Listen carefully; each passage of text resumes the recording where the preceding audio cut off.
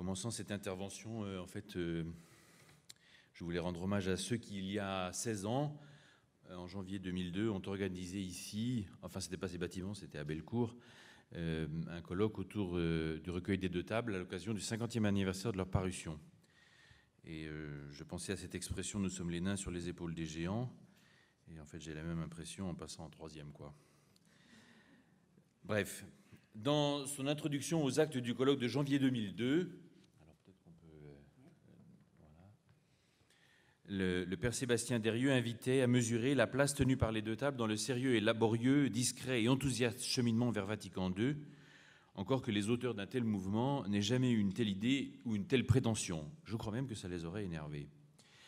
Il l'invitait, Sébastien Derieux, à percevoir combien, à la lumière des recherches et des réalisations d'une époque, les deux tables constituaient un appel à répondre aux attentes d'aujourd'hui en vérité et avec la même foi et la même qualité. Par ailleurs, dans son étude intitulée Le chant liturgique et ses recueils en français, paru dans la Maison Dieu en 1997, Duchesneau pointe qu'après la Seconde Guerre mondiale et sous la pression des mouvements de jeunes, les recueils du chant dit liturgique en français connaissent des mutations visant à rapprocher l'action liturgique, alors même que seul le latin est autorisé. À 65 ans de distance et 12 ans avant le Concile, ce mouvement des deux tables, dit Duchesneau, témoigne à quel point la liturgie est en train de redécouvrir ses fondements. Et même, parmi ces trois recueils mis en exergue par Duchesneau, à savoir Gloire au Seigneur, que vous voyez là, de Bernard Geoffroy en 1946, Les deux tables, que vous avez vu tout à l'heure en 1951, et 24 psaumes et un cantique de Gelino en 1953, celui qui nous intéresse est pourtant le seul à proposer des chants pour la messe directement et non seulement pour accompagner les rites de la messe. C'est dire que l'apparition des deux tables n'est pas seulement une question de langue, elle est une étape décisive dans le mouvement liturgique visant depuis le début du siècle à remettre en lumière les fondements de l'action liturgique pour en mieux percevoir le sens, tant du côté des clercs que des fidèles, pour y participer avec davantage de fruits. Vous avez bien compris que je voulais vous faire partager mon optimisme, qui parfois, je vous prie de m'excuser, se transforme en chauvinisme pour ce mouvement des deux tables. Si le projet des deux tables a une visée pastorale et missionnaire, il est annonciateur de la réforme. Dans la lettre euh, Vicesimus Quintus Annus, à l'occasion du 25e anniversaire de la promulgation de la Constitution sur la liturgie, Jean-Paul II identifie trois axes majeurs de la Constitution l'actualisation du mystère pascal comme centre de gravité de la liturgie, la place de la parole de Dieu pour qu'apparaisse plus clairement l'union intime du rite et de la parole dans la liturgie, et enfin l'épiphanie de l'Église parce que la liturgie manifeste l'Église en prière. Eh bien, je voudrais vous montrer que de manière sans doute moins consciente que inconsciente, les protagonistes du projet éditorial Les Deux Tables ont anticipé ces axes de la réforme conciliaire en raison des divers renouveaux de cette époque qu'il paraît intéressant de remettre en lumière. Je vous propose deux parties. Un flash, un zoom sur le contexte de la naissance de ce recueil, et puis à partir du recueil lui-même, ce que l'on peut en tirer pour nous aujourd'hui. Et je prendrai quatre points de conclusion personnels. Il nous faut partir du grand séminaire Saint-Irénée de Lyon, que vous voyez ici, puisqu'il n'est plus là maintenant. À la jonction des années 1940-1950, 300 séminaristes, une cinquantaine d'ordinations chaque année, ça fait rêver pour certains. La vie est cependant austère, monacale, vie d'internat pendant un trimestre complet, règle de silence rigoureuse. Mais cette rigueur sera comme le, le creuset, naît quelque chose de nouveau. Ceux qui ont fait les deux tables avaient entre 21 et 26 ans, pas davantage. C'était une création et une initiative de tout jeunes hommes qui, de surcroît, n'étaient que séminaristes. La complicité entre eux était grande. Séminaristes et professeurs sont pleinement investis. Ils disent Nous devons beaucoup à l'amitié et au partenariat de nos professeurs et naturellement à leur enseignement biblique, patristique et théologique. Tout ce qu'ils découvrent dans leurs études et la vie liturgique au séminaire est immédiatement mobilisé. Mais ce n'est pas qu'une œuvre intellectuelle. Elle trouvera son application immédiate, d'abord dans la liturgie du séminaire, et après évaluation fera l'objet d'une euh, diffusion pour les meilleurs chants dans les paroisses du diocèse, Francheville, Sainte-Foy, euh, Saint-Polycarpe, Saint-Alban et d'autres encore. Qui sont-ils? Lorsque le recueil paraît en, décembre 1951, ils viennent d'être ordonnés prêtres du diocèse de Lyon.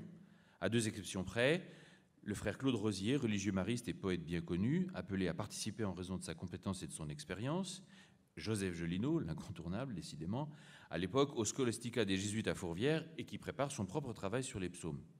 L'aîné de tous est Marcel Godard, qui, c'est d'ailleurs une chose peu connue, fit publier en 1946 un an avant, euh, qui fit publier de manière confidentielle un an avant le recueil qui nous intéresse, dans le cadre du petit séminaire de l'Argentière où il est nommé en 1946 un premier recueil Les Deux Tables. Vous en avez ici une photo.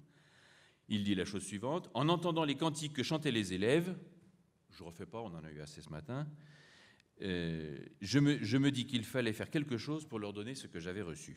Et le titre des Le Deux Tables était déjà dans les oreilles. Je demandais aux éditions du Chalet de tirer sans but commercial et aux frais du séminaire une première édition Les Deux Tables. Les deux principaux animateurs du groupe sont Robert Martouret, alias Robert Jeff, fort tempérament, né en 1924, prêtre en 51.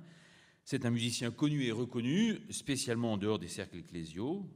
Je crois qu'il enseigne au Conservatoire de Saint-Étienne l'âme du recueil et l'animateur de l'équipe. On lui doit la majorité des mélodies originales. Jean Servel, missionnaire au Blas de Marie Immaculée, directeur des éditions du Chalet, auteur de presque la moitié des textes, une vingtaine, je crois. Il faut aussi signaler Paul Bonny, alias Paul Dorlet, prêtre de Saint-Sulpice, Jean Vanel, alias Jean Chrétien, prêtre de Lyon, Pierre Bonnard, Jean Mollard et encore Jean-Baptiste Le Gall. Après le séminaire, il faut signaler un contexte de fort renouveau missionnaire et liturgique. À Lyon, comme partout en France, cette période d'après-guerre est marquée par une grande soif de renouveau. Elle est d'abord missionnaire, à l'image de Jean Servel, OMI, cheville ouvrière du projet en tant que directeur des éditions du Chalet. À travers sa participation aux missions itinérantes à Lyon et dans la région, il découvre, je cite Jean Mollard, l'importance, l'urgence même d'un renouveau indispensable pour l'annonce de la parole et en même temps l'importance du chant de points, élément indispensable à toute célébration. Face à la perception de la déchristianisation grimpante et pour répondre aux attentes du monde actuel auquel il se prépare à être envoyé, les séminaristes profitent du cadre qui leur est offert pour acquérir une vraie compétence. Ils disent, Jean Mollard, je cite, nous n'étions pas étrangers à ce qui se passait dans l'Église dans le monde, surtout après les expériences fortes vécues par certains pendant les toutes récentes années de la guerre, captivité, STO, etc. Certes, il fallait bien accepter le règlement du séminaire, mais l'esprit était à l'ouverture. Ouvert sur le monde extérieur, nous étions aussi ouverts aux recherches dans les domaines apostoliques, missionnaires, liturgiques, scriptural, doctrinal, etc. Dans cette perspective, le bouillonnement liturgique est très fort, spécialement dans les milieux de jeunes, ça a déjà été dit, patronage, action catholique, scoutisme et que sais-je, avec entre autres la création de médiateurs commentateurs ou de paraliturgie visant, à permettre aux fidèles, avec les moyens de l'époque, de participer à un rituel de toute façon intouchable. Ça, c'est Henri Denis. On peut dire qu'il s'agit d'une manière spécifique par laquelle le mouvement liturgique, qui déjà s'étend en Europe, trouve ici sa modalité lyonnaise. Troisième point, euh, le renouveau des sciences liturgiques est extrêmement intense à Lyon, spécialement autour de l'université, de la communauté des jésuites, de la coalition source chrétienne. Les séminaristes ont profité de ce mouvement abondamment et ont immédiatement mobilisé leurs acquis. Je cite une nouvelle fois Paul Bonny. Le plus neuf pour nous, c'était les pères. Jean Morel nous donnait à traduire des catéchèses mystagogiques du grec et du latin. On allait chercher les textes là-haut dans la grande bibliothèque des professeurs. On disposait de mines, de quelques traductions françaises qui nous facilitaient la tâche. C'est à qui rivalisait pour traduire au bénéfice de tous le cours. Je ne sais pas si ça a changé. Cyprien, Augustin, Cyril de Jérusalem, Sérapion de Tmus, etc. Ces textes nous fournissaient un langage symbolique et ecclésial d'une grande richesse à travers les rites baptismaux évoqués, à travers les prières eucharistiques anciennes, dans leur variété, dans leur tonalité commune d'action de grâce, d'histoire du salut, de mémorial. Jean Vanel témoigne d'une étude faite avec Jeff des hymnes latines des premiers siècles, leur symbolisme, leur manière d'utiliser l'écriture, leur métrique, leur but populaire. Nous voulions ancrer solidement la nouvelle hymnologie dans la tradition. Le renouveau biblique est déjà largement entamé. Je, je passe très rapidement pour citer la figure d'Albert Gelin, enseignant euh, parallèlement ici à la faculté de théologie et au séminaire. Les étudiants ont été marqués par ses recherches sur l'Ancien Testament et aussi par son expérience comme traducteur de la Bible de Jérusalem. Mais le point le plus important, c'est sans doute un ouvrage décisif. Selon Henri Denis, le livre culte, celui du père Louis Bouillet, Le mystère pascal. Euh, c'est d'ailleurs aujourd'hui peut-être le livre de théologie euh, français le plus répandu encore dans le monde, avec celui de Louis-Marie Chauvet. Le mystère pascal, qui dit-il, rayonnait depuis 1945. Cette longue méditation sur les offices de la Semaine sainte, depuis les ténèbres du mercredi saint jusqu'à la messe du samedi saint, matin, la vigile pascale, offre un commentaire de chaque office à partir des textes même de la liturgie, la Bible et les Pères. À 50 ans de distance, en 2002, c'est le seul ouvrage de théologie cité dans tous les témoignages lors du colloque, ici en 2002. Il faut dire que cette, cette thématique théologique du mystère pascal est omniprésente, et pour s'en convaincre, il suffit de feuilleter les premières années de la revue La Maison Dieu. C'est précisément au printemps 1951 que la vigile pascale ad experimentum retrouve son heure traditionnelle et repasse du matin au soir, bouleversant ainsi tout le triduum qui, au passage, retrouve sa dimension communautaire. Je cite Paul Bonny, La théologie des mystères chrétiens se livrait dans un langage de célébration et dans un langage symbolique. On sortait de l'étroitesse du champ de la théologie de la contre-réforme. Le traité de l'Eucharistie ne se focalisait plus sur la seule question de la présence réelle ou la question de savoir comment la messe pouvait être un sacrifice. Mais on entrait dans le grand mouvement de la prière eucharistique avec sa dimension trinitaire, sa dimension de mémorial de toute l'histoire du salut, avec en son centre le mystère pascal du Christ. À ce moment-là, et dans le contexte que nous avons décrit, la question du chant liturgique donne l'impression d'être à la fois le catalyseur et le lieu de synthèse de tous les travaux des séminaristes. Le dessin de Ribes que vous voyez ici orne le début de la table de la parole et avec son trait assez prononcé à la Matisse, euh, il y avait une exposition à Lyon qui m'a vraiment fait rappeler cela, montre l'unité ici donnée du mystère pascal, euh, quasiment de manière parallèle avec l'ensemble de la révélation. Ça mérite d'être regardé de très très près. Quatrième élément, dans le contexte, une question musicale. En écoutant les témoignages des acteurs de cette époque, on est frappé par la place que tient la musique dans ces domaines où ils cherchent et se forment. Il y a d'abord le trésor du chant grégorien, qu'il, dit-il, qu'il, disent-ils, pardon, il ne fallait absolument pas mépriser. Un chant préparé dans le détail pour la liturgie dominicale, école de sobriété, d'austérité et de prière mystique, mais aussi la polyphonie sacrée, avec la présence d'un quatuor talentueux et d'un ensemble vocal pour faire goûter ces merveilles chargées de ferveur esthétique et de beauté religieuse. Toutes les pièces citées en exemple dans les témoignages du colloque de 2002 sont également celles de la Semaine Sainte. C'est suggestif. Jeff, disent-ils, avec l'intérêt qu'il portait au répertoire de la musique sacrée, savait trouver et nous proposer les merveilles du répertoire ancien, spécialement de la Renaissance. Il est impossible de comprendre la composition du recueil sans bien saisir que les auteurs et compositeurs des deux tables ont un bagage musical non seulement technique, mais aussi pleinement vécu dans la liturgie. Je cite euh, Jean Mollard, Animé par ses choristes, organistes et autres musiciens, la communauté tout entière tenait à la qualité du chant dans la liturgie au séminaire. Au cours du colloque de janvier 2002, Daniel Hamlin a entrepris une analyse précise de la musique des deux tables, tout en la comparant avec celle des deux recueils de la même époque que je vous ai montrés, déjà cités. Il serait très intéressant de la relire. J'invite d'ailleurs les musiciens à le faire. Mais cela dépasse le cadre de mon intervention. Je vous renvoie donc aux actes du colloque de MIG 2 en donnant seulement que quelques lignes. Outre la variété des formes qui commence à se faire ressentir, et on sort du couplet-refrain, quoi. Sur 46 chants, 30 mélodies sont inédites. Les autres sont des emprunts montrant autant la culture des auteurs que leur éclectisme, avec quatre tendances. Le négro spiritual, je crois que le premier est dans les deux tables, euh, avec euh, Tu es Seigneur, le répertoire catholique traditionnel, le répertoire luthérien, en particulier le genre choral, et enfin les mélodies de type folklorique, en particulier le recueil de Saint-Brieuc. Mais la spécificité des deux tables se trouve dans l'ouverture d'une troisième voie entre d'une part le cantique néo-grégorien que les séminaristes évitent à tout prix sans rien nier à la modalité grégorienne, et d'autre part le cantique tonal classique vertébré, carruré, et dont la théologie était déficiente ou inexistante.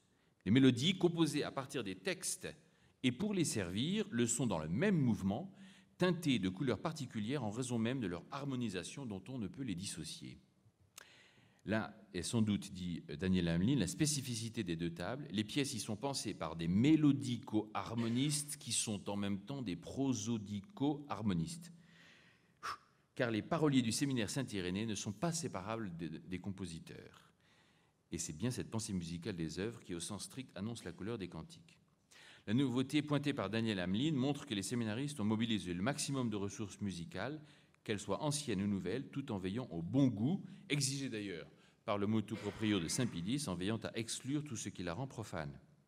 À ce titre, on peut parler d'une véritable inculturation dans la liturgie avant l'heure, et peut-être une des raisons de la postérité de ce recueil. À cet endroit, il faut noter qu'aujourd'hui, la moitié des 46 chants sont cotés au sécli, et même dans le recueil très officiel actuel, le CNA, chant noté de l'Assemblée, publié en 2001, on retrouve 8 des 46 chants du recueil Les Deux Tables.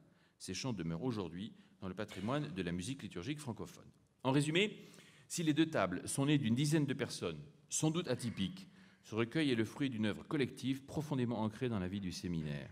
Plus de dix ans avant le concile, l'événement Les Deux Tables est éminemment ecclésial et pastoral, dans un esprit de ressourcement au contact des sources antiques. Le recueil lui-même.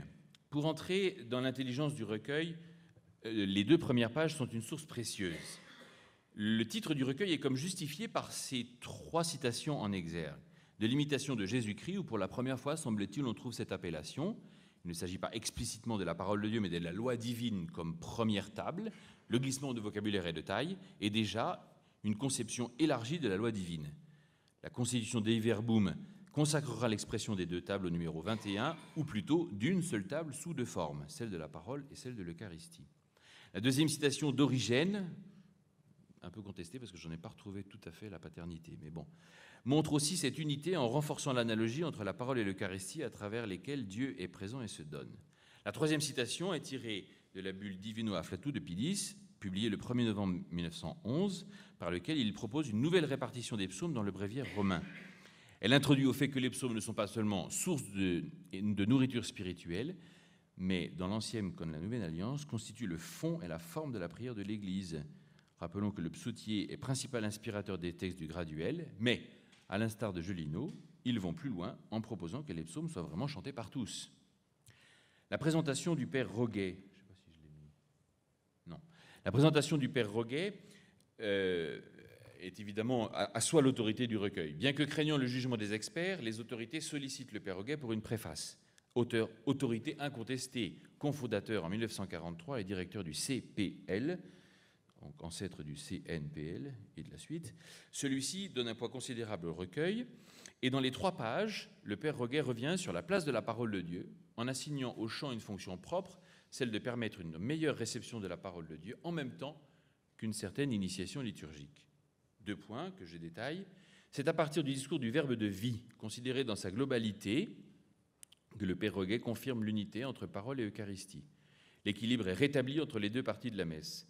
C'est en raison de la trop faible connaissance et d'une trop faible méditation personnelle de la parole de Dieu, considérée comme vraie nourriture, que la communion des fidèles, devenue plus fréquente au début du XXe siècle, ne porte pas les fruits attendus. On se tourne vers l'écriture, vers sa sobriété savoureuse, dit Jean Vanel. Ces images simples et fortes, son théocentrisme absolu, son culte de la gloire de Dieu. En tout cas, le chant reçoit alors et remplit cette mission de mâcher et ruminer la parole de Dieu par l'acte même de chanter, en participant pleinement, là où des prédications, même les plus substantielles, ne suffisent pas. C'est dire que le chant contribue pour sa part au bon équilibre entre les deux tables, célébrant l'unique mystère de la foi, en faisant davantage goûter la parole de Dieu.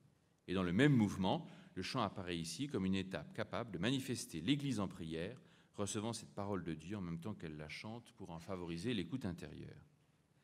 Le second thème est celui de l'initiation liturgique. C'est l'ambiance du moment, la dynamique du mouvement liturgique. Là où auparavant, le cantique en français se situait en marge de l'action liturgique. Désormais, ces chants, acclamations ou répons ont toute leur place, sauf la messe solennelle. On a volontairement évité ici de faire double emploi avec des chants proprement liturgiques comme le Gloria, le Credo et le Sanctus. On n'a rien prévu pour meubler, ça c'est sans doute la nouveauté, si l'on peut dire, le canon de la messe. Le présent recueil veut initier à l'action liturgique, dit Roguet, et non pas distraire ou en donner des ersatz. Il faut noter que le vocable chant liturgique n'existe pas vraiment à ce moment-là. L'encyclique euh, sur la musique de Pie XII évoque les trois genres de musique sacrée, chant grégorien, la forme la plus aboutie, la polyphonie sacrée et le chant religieux en langue vernaculaire. Leur dignité décroissante vient des critères déjà donnés par le motoproprio de Saint Pie À cet endroit, la réforme de Vatican II apportera un éclairage différent en se concentrant sur la connexion au rite liturgique vous connaissez tout ça, la musique sacrée sera d'autant plus sainte qu'elle sera en connexion plus étroite avec l'action liturgique. Une telle affirmation qui permet de classer les chants proprement liturgiques et non, non plus d'abord en fonction de la langue ou du type de musique, mais du lien avec l'action liturgique, comme dialogue, comme chant constituant un rite en lui-même ou accompagnant un rite. Ici, le recueil des deux tables peut être considéré comme une transition entre l'exclusivité grégorienne et le chant liturgique rituel ou connecté au rite. Les chants sont en français, mais leur fonction spécifique n'est pas établie parce que l'intention des auteurs est la qualité des textes portés par la musique pour permettre d'entrer plus avant dans l'intelligence des mystères. Il restera donc un pas à franchir vers la ritualité symbolique. Comment le recueil est-il organisé? Il faut d'abord noter la disproportion entre les deux parties du recueil. Sur les 46 chants, 35 appartiennent à la première partie, la table de la parole, et 11 à la table de l'Eucharistie. Dans sa présentation au colloque de 2002, Henri Denis l'explique ainsi Il fallait attendre le Concile pour la réforme de la liturgie eucharistique. Certes, la réforme conciliaire a apporté des échanges significatifs pour sa partie eucharistique de la messe. Pour autant, le jeune impertinent que je suis estime qu'il n'est pas certain que cela aurait amené plus de chants dans la seconde partie. Cette disproportion semble être une conséquence de l'intention des compositeurs. Il ne s'agit pas de remplacer le chant liturgique par excellence, le commun grégorien des messes, mais permettre que la parole de Dieu soit davantage assimilée. La disproportion vient donc de la structure de la messe, où la liturgie de la parole fait davantage place au chant. Cela ne changera d'ailleurs pas fondamentalement avec la réforme. Cette, disproportion est encore plus forte dans le dernier recueil officiellement approuvé, le CNA. Et en même temps, il faut nuancer ce propos, car la réforme a apporté beaucoup de changements et que les chants de la table de l'Eucharistie ne peuvent se réduire au seul chant de communion actuel. Le point le plus important est le classement des chants selon l'année liturgique. C'est une première. La table, la table, des matières propose un classement des chants selon les périodes que vous voyez affichées. Les chants à la Vierge sont classés dans les chants d'hiver avec ceux de la profession de foi sur l'Église et les chants du soir. Le recueil Gloire au Seigneur, évoqué plus haut, ne l'avait pas fait. Je cite Bernard Geoffroy. Le cycle liturgique appellerait un temporal et un sanctoral, mais l'entreprise suppose un travail considérable. Il convenait de commencer par la messe, comme l'a souligné le congrès de pastoral liturgique de Saint-Flour, 1945. Dans les deux tables, on a voulu volontairement éviter le double emploi avec des chants proprement liturgiques, et les indications concernant la mise en œuvre le rappellent. Centrés sur le mystère du Christ, les chants de la table de la parole suivent le déroulement du cycle liturgique. Dès avant la cotation du chant liturgique proposé par le Père Hume, qui fixera l'usage des chants, les deux tables sont le premier recueil de chants liturgiques classés selon le cycle liturgique. Les citations. Euh, je crois que j'ai mis un exemple. Oh, c'est dommage. Ah si, c'est bon. Euh, juste avant. Ah non, on ne le voit pas. Oui, si, on le voit à peine.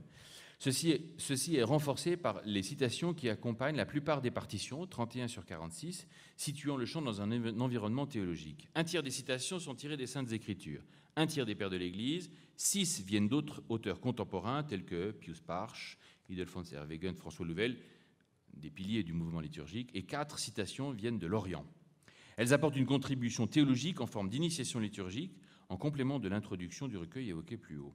Elles reprennent bien sûr l'année liturgique, de l'Avent à la parousie, où terre et ciel sont unis dans le même chant de louange, mais aussi la célébration des mystères, et en particulier du mystère pascal, en lien avec la dynamique baptismale, où s'articule l'œuvre de Dieu et l'action des hommes. Prenons un exemple. La nuit qu'il fut livré, c'est le chant le plus emblématique du recueil. Il faut pourtant noter que son usage a beaucoup évolué. Inscrit initialement dans la table de la parole, il est finalement classé dans les chants d'anamnèse, d'action de grâce et de louange par la cotation des chants notés en 1976 je crois que c'est le livre rouge, puis ensuite parmi les chants de communion au numéro 449 du CNA, et finalement comme processionnal vers le reposoir du jeudi saint dans les propositions du SNPLS en 2016. C'est sans doute sa meilleure place. C'est suggestif d'une évolution cherchant l'adéquation entre la forme du chant et sa fonction. Les évolutions du texte, je crois que je l'ai mis après, sont marginales et peu significatives, avec seulement deux changements. Au verset 2, vous le voyez en gras, faites ainsi, faites ceci. Bon, suite à la traduction du missel en français et des paroles de la consécration. Et au verset 3, et nous, vivants témoins guidés par l'Esprit Saint, en et nous, peuple de Dieu, nous en sommes témoins, avec l'ajout de la mention peuple de Dieu tiré de Lumen Gentium, mais qui enlève la mention de l'Esprit Saint. Les deux premières strophes sont directement tirées du récit de l'institution tel qu'on peut le lire en 1 Corinthiens 11, en ajoutant la plénitude de sens qu'apportent la passion et le mystère pascal au geste de Jésus, le soir du jeudi saint, offrande de sa libre vie. C'est la strophe 1. Sacrifice de la croix dont nous perpétuons le mémorial selon le commandement de Jésus, strophe 2. Les trois autres sont des inventions poétiques en référence à la parole de Dieu qui prolongent le sens de l'institution de l'Eucharistie. Les témoignages de l'Église qui transmet le trésor qu'elle a reçu, strophe 3. La dimension mémoriale qui s'applique à nous en vue de la parousie, strophe 4. Et enfin la dimension eschatologique du retour glorieux où le Seigneur nous accueille à la table définitive, strophe 5. C'est un modèle du genre. La progression du texte est d'ailleurs soulignée par l'indication musicale crescendo progressif des couplets depuis le premier pianissimo jusqu'au cinquième fortissimo. manque les trompettes. La mélodie de ce chant est d'une étonnante simplicité de moyens. Cela convient bien au processionnal qui peut-être se mémorise mieux ainsi. Il y a en tout et pour tout que deux phrases musicales. Et dans chaque strophe, la première est reprise trois fois, c'est dire qu'elle revient quinze fois dans l'ensemble du chant. Bien plus, la seconde phrase ressemble beaucoup à la première comme une variante à la tierce supérieure. La ligne mélodique est très simple, à intervalles conjoints, à l'exception de tierces, l'une à l'aigu, l'autre dans le grave. La mélodie est fondée sur un mode de mi défectif, où l'absence de fa crée une ambiguïté, mais entendu comme Bécard sans doute justifie le mode de mi. La première phrase emprunte à la partie plagale, la seconde à la partie hautante. Le rapport musique-texte est exemplaire en raison de la grande simplicité rythmique de chaque incise. On a remarqué qu'il n'y a pas de véritable appui, sinon que sur la deuxième note de chacune, des, versets, de sorte que le chant se déroule de manière simple, accentuant encore le caractère processionnel. On pourrait prendre tous les chants les uns derrière les autres et, euh, et regarder cela. Trois points de conclusion et une remarque. Ce que nous pouvons retenir pour aujourd'hui. Si la Constitution sur la liturgie est le premier texte promulgué par les pères du Concile, c'est sans doute en raison de la préparation dont elle a bénéficié.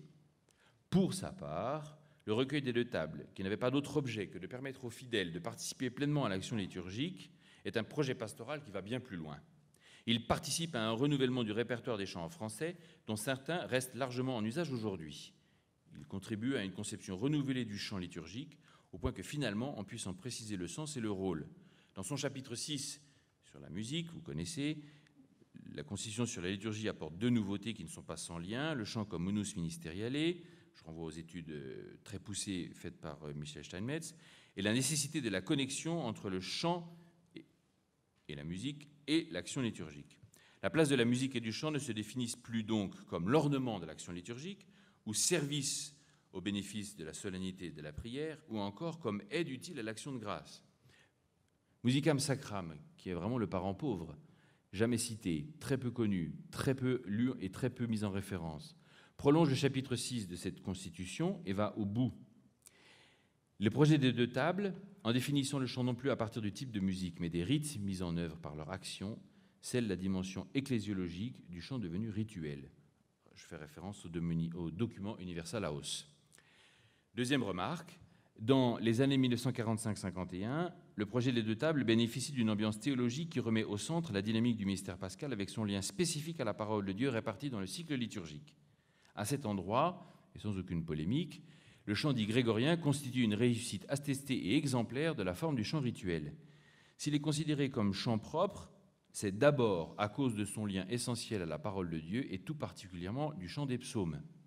C'est aussi en raison de la maturation dont il a bénéficié dans des contextes culturels qui ont vu son développement. C'est enfin du fait de sa connexion étroite à l'année liturgique où chaque composition musicale est au service d'un texte unique comme supplément d'âme à la prière collective. C'est la musique qui sublime la parole et non le chant qui rehausse l'action liturgique. Il ne peut pas y avoir d'autre justification du chant propre. Son abandon définitif n'est donc pas injuste, c'est une question morale sans intérêt pour nous en l'espèce de notre étude, mais surtout une régression en ce qu'il constitue un modèle formel, j'ai bien dit modèle formel, de mise en œuvre de la parole de Dieu. Eh bien, le projet des deux tables s'est exactement inscrit dans cette perspective, et c'est d'ailleurs sans doute une des raisons de sa postérité. Troisième élément de conclusion, la dimension pastorale du recueil visait à permettre à toute une assemblée paroissiale de participer pleinement à l'action liturgique par le chant. Ce faisant, un tel projet était le témoignage d'une révolution copernicienne dans la conception de l'assemblée liturgique, qui, ne perdant rien de sa réalité hiérarchique, devait la concevoir davantage à partir du baptême qu'à partir du sacrement de l'ordre. C'est d'ailleurs le rappel de Don Lambert Baudouin en 1947, définissant la liturgie de référence comme épiscopale, publique, solennelle, chantée, où chacun tient sa juste place. L'intuition des acteurs rejoint donc ce troisième axe de la Constitution sur la liturgie développée par Jean-Paul II. Le Concile a voulu voir dans la liturgie une épiphanie de l'Église. En célébrant le culte divin, l'Église exprime ce qu'elle est. Dans cette perspective, la musique participe à ce rôle décisif en raison de sa capacité à constituer le peuple ecclésial, Jean-François Chiron l'a dit ce matin, mais si le chant rituel en est capable, comme sonorisation symbolique dans l'ordre sacramentel du mystère pascal, ça reste toujours à réaliser. Pour finir, très souvent, on entend cette affirmation qu'il faudrait chanter moins pour chanter mieux. C'est une question disputée. En revanche, c'est une aporie si les pratiques du chant dans la liturgie ne cherchent pas à mettre en valeur des formes réellement différenciées, au risque de retomber dans une vision ancillaire de la musique, où finalement la célébration eucharistique se réduit à un ensemble de textes entrecoupés de chants. C'est une question de ritualité. C'est une question, euh, c'est une question de ritualité, de variété des acteurs et de style. L'omniprésence de la forme rondeau, même aujourd'hui, par exemple, continue à donner l'impression que les chants sont plutôt insérés dans la liturgie qu'issus de celle-ci et nécessités par sa nature même.